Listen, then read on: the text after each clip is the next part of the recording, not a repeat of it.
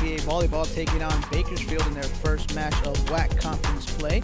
We pick it up at the beginning of the first set where Alisha Watson recorded three of her game high five aces on the night, going back to back to put the Broncs up seven to six. Broncs dropped the first set but managed to take the second set on this Haley Durham kill. She finished with a team high 15 kills. The Broncs go back and forth with the Roadrunners in the third set as we see Maria Kleefeld get the kill, but the Broncs fall three sets to one.